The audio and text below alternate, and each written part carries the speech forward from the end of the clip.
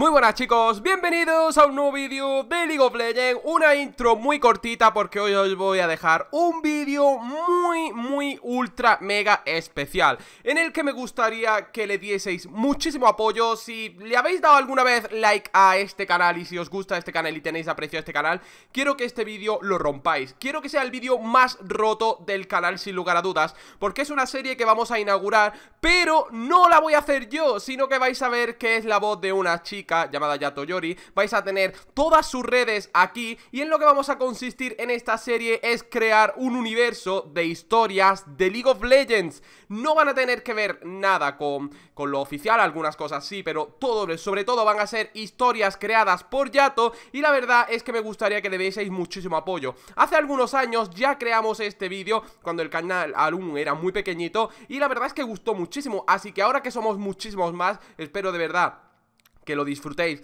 muchísimo, que le deis un montonazo de apoyo porque de verdad ella se lo merece y la verdad es que quería darle las gracias por querer colaborar con este canal porque como vais a ver la historia, aparte de que es magnífica, tiene una voz muy muy bonita, así que me gustaría muchísimo eso, gente, que lo petarais y por supuesto, si os gusta y queréis más historias eh, relacionadas con campeones y demás, podéis dejarlo en los comentarios o directamente ir a decírselo a ella, a su Twitter y demás, para que las traigamos en siguientes vídeos Así que os dejo ya con esta increíble historia de Silas y Deluxe Es una noche de luna llena, sin duda la mejor noche para poner a prueba un entrenamiento de un plan que no debería de ser un problema para dos aprendices de mago con unos poderes increíbles.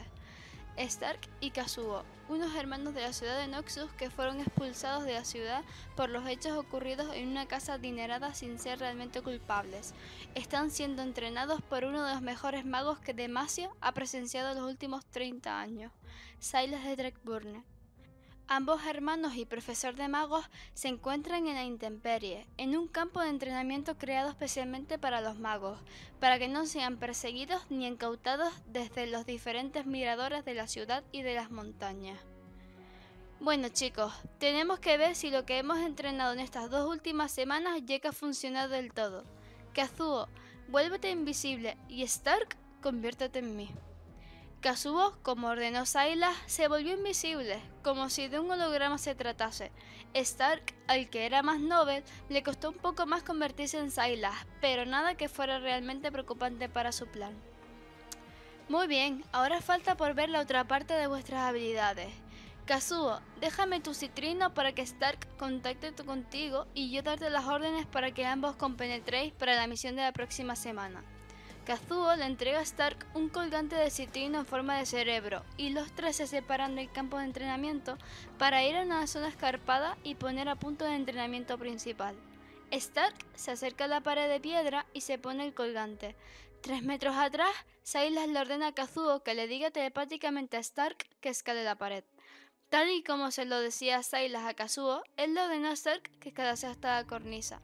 Una vez llegado al punto de destino, Silas le ordenó a Stark que bajase de la cornisa y ambos se reunieron con él. Vale, veo que lo que hemos entrenado funciona. Ahora les explico la misión que tendréis que cumplir en Demacia. Silas les muestra un plano de la ciudad. En él se ve la estructura de la ciudad de Demacia, la cual está compuesta de enormes zonas fuertemente protegidas por enormes murallas blancas y puertas de acero blindado. Esto que veis aquí es Demacia, la región en la que tenemos que llevar una carta a una maga de la familia Crownward, que está en el palacio central de la ciudad. Lo que tendréis que hacer es entrar al cuarto de habitación de Luxana, escalando por la muralla del templo de los portadores de la luz. Veréis cuál es su habitación porque por las noches suele practicar el control de su luz mágica, si no ha dejado de practicar su control de magia. Y si no vemos cuál es su luz, tranquilos, yo os guiaré. Me conozco muy bien ese palacio de memoria. Una cosa les debo de decir, y es que tú, Stark, tendrás que convertirte primero en un guardia demasiano para poder pasar desapercibido de los guardas y llevar la carta, mientras Kazuo te indica lo que tienes que hacer. Pasa una semana y ya es noche de una nueva, la mejor noche para poder llevar una misión sin ser descubierto por los guardias. Silas y sus dos súbditos se acercan hasta el punto de la misión. Stark como ordenó Silas en la explicación del plan, se convierte en un guarda demasiano, llevándose consigo el colgante con forma de cerebro que Kazuo usa para poder comunicarse. Podéis empezar cuando queráis. Stark, ilusionado por entrar en ese palacio convertido en demasiano, entra por la puerta principal del templo desapercibido, tal y como se había previsto. En cuanto ve que ningún guardia le mira, empieza a escalar una enorme pared que está decorada con un guardia blanco, en honor a los guardias demasianos que perdieron en la guerra de hace 50 años.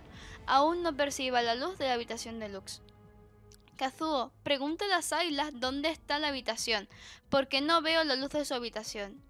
Kazuo le pregunta a Silas y este le dice que tiene que llegar a un torreón que está justo al lado de ese monumento, señalado por una vara de madera mágica demasiado antigua, que los antepasados de Lux usaban. Stark, tal y como le dijo Kazuo de parte de Silas, encontró una escalera de caracol correspondiente a un torreón. Llegado a la puerta de la habitación, Stark toca la puerta de la habitación. Señorita Luxana, ha llegado una carta a nombre de usted, Luxana Cranward. Lux, extrañada, le dice que pase a su habitación. Se abre la puerta y se vean guardias entrando a su habitación. Una vez cerrada la puerta, Stark cambia su aspecto al original y le dice a Lux que es un súbdito de Silas que le pide enormemente su ayuda. Ella acepta la carta que Silas escribió para ella y Stark sale por la ventana y desaparece de la vista de todo. Lux le pilla la curiosidad la carta y se sienta en una acomodada silla y se dispone a leer la carta. Hola Lux, sabrás quién soy, ya que seguramente mi súbdito te lo habrá dicho. Necesito tu ayuda. Esto de tener a muchos magos a mi cargo y de tener que guiarlos yo solo se me hace muy complicado. Quiero verte y lo necesito. Me encontrarás en aquel árbol milenario que mira el guardia del templo de protectores de la luz. Nos vemos mañana. Silas. La mañana del día siguiente, Lux sale muy alegre con respecto a otros días, cosa que a Garen le parecía muy sospechoso. En cuanto faltasen menos de 5 metros para salir de la muralla, Garen interrumpe a Lux. Lux, ¿a dónde vas? A coger aire fresco. ¿Por qué? Sabes que no te dejan salir sola. Es más, padre estaría muy enfadado sabiendo eso. Garen, sabes perfectamente que no soy una cría y que sé defenderme muy bien. Lux sigue camino y da con el árbol que el Silas le mencionó, situado al lado de un campamento compuesto de tiendas piramidales y fogatas. En ella se encuentran niños y adolescentes magos con poderes increíbles que nunca antes Lux había visualizado en su vida. Pensaba que no ibas a venir a hablar conmigo. Obviamente que sí, Silas. Aparte, nunca vine de más coger algo de fresco. Luz abraza a Silas con un abrazo que hasta refresca el calor abrasador que hace afuera del castillo. Te he echado mucho de menos. No más que yo. Esto vivir a intemperie es lo peor. Tienes que buscarte comida y refugio, riachuelos donde poder asearte. Vamos, una auténtica aventura. Y por si fuera poco, se hace súper aburrido sin alguien con quien hablar durante muchas horas. No haberte metido al día y eso no te hubiera pasado. Tienes razón.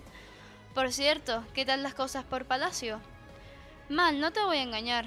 Cada vez necesitamos más refuerzos en la defensa del reino y solo mi padre quiere que sean guardias luchadores porque los magos nunca los ha visto bien, ya tú lo sabes. Me lo suponía. Te iba a proponer el plan de destruir el trono de Demacia, pero creo que estás en contra. Obviamente, ¿por qué querría yo destruir el trono? Vale que mi padre no quiere que salga de palacio y que no permite la magia, pero a fin de cuentas Demacia se mantiene gracias a eso. Es más, te propongo algo mejor. Simular una invasión sin guerra ni afectados hasta el trono, y hablaremos los dos con nuestro padre y sus guardias. Tal vez le convenzamos de hacer una defensa mágica del reino, así ambos salimos beneficiados. Tú tienes un lugar protegido del exterior con tus aprendices de magos y nosotros tenemos una defensa mágica del reino, aparte de que me gustaría mucho ayudarte y ver el arsenal que tienes de magos. Lux, ¿lo estás diciendo en serio? Pues claro, ¿en quién confío más? ¿En mis padres que son antimagos o en alguien que me enseñó a controlar la magia? Ok, les diré a mis súbditos que recojan sus pertenencias y vamos ahora mismo a palacio. Tengo un mago capaz de convertir a todos sus aliados en copias de lo que él quiera. ¿Te vale? Por mí, sabes que perfecto. Muy bien. Danver, ven aquí y convierte a todos en caballeros demasianos. Te acordarás de verlos ya que los has visto alguna vez en Demacia antes de que te expulsaran. Vale, profesor.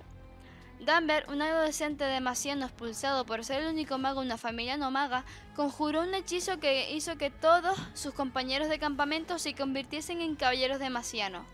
Una vez realizado, todos se dispusieron a entrar en el palacio. Los Isailas, camuflados en el ejército, entraron por la puerta principal, como si nada, mirando hacia el frente del camino hacia la sala del trono, donde se encontraban los padres de Lux y sus guardias. Una vez llegados a la sala del trono, el ejército se abrió, dando paso a Lux y a Sailas para hablar con el rey de Demacia. Madre de Demasianos, ¿qué hacéis ustedes aquí? Padre, he hablado con Sailas y tiene algo importante que tal vez te pueda interesar, dado que te preocupa el estado actual del ejército demasiano. Luxana, sabes perfectamente que soy un antimago por excelencia, que no quiero saber nada de magos en esta ciudad. ¿Ah, sí? ¿Y cómo es que yo acabo de entrar en la ciudad con un ejército de magos convertidos en guardias demasianos? Danver, chasquea tus dedos para romper el hechizo. Luxana, ¿qué son todos estos niños y adolescentes? Magos, y no cualquier tipo de mago. Estos niños han sido entrenados y cuidados por Silas con el duro entrenamiento de supervivencia en los campos de Runaterra. No tendrás a nadie de tus filas con semejante experiencia y fuerza para la defensa del reino, que es lo que todos necesitamos y seguro que más de un niño adulto de esta ciudad es mago también y se podría incorporar al ejército de magos. ¿Aquella no te parece mala idea? El padre de Luxana, reflexivo y a la vez convencido, no duda en darles un sí a Lux y Silas con su proyecto de ejército. Os lo acepto, pero con una condición, de que no afecte a ninguna estructura histórica de la ciudad. Podéis entrenar en la llanura, incluso les daré una zona de refugio para todos. Espero que sepáis defender la ciudad como mis guardias lo han hecho durante todos estos años. Jarvan, haz una orden de comunicado de que tenemos un ejército de magos y que cualquier mago de Demacia puede entrar en el ejército. Gracias, Lux y Silas, ya pueden marcharse. Fuera en las calles, la ciudad rebosa de alegría por la noticia. A partir de ahora, Demacia estará más protegida y unida que nunca.